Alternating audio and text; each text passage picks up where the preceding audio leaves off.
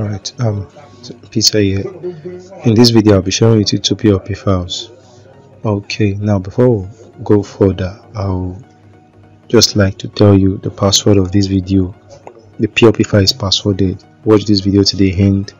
You don't know how to extract the file or install it to your Pixellab, there's a video in the description of this video that will help you with that so the password will definitely be displayed if you not see it you did not watch it very well because i edited this video and you're just watching me the one i edited.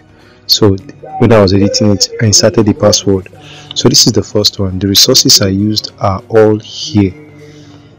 You can if you have a similar project you can edit it and use them. So this is the first one. The church flyer. The second one is also a church.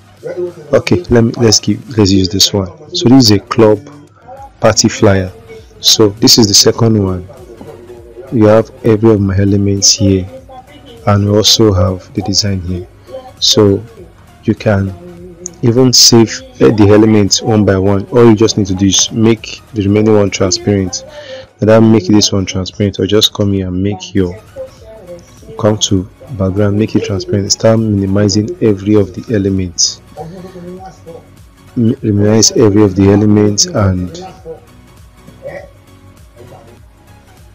okay if is this model now you can just see after minimizing just reduce it here and just come here and save as save image as a png okay now once you've saved as a png you can just save the image.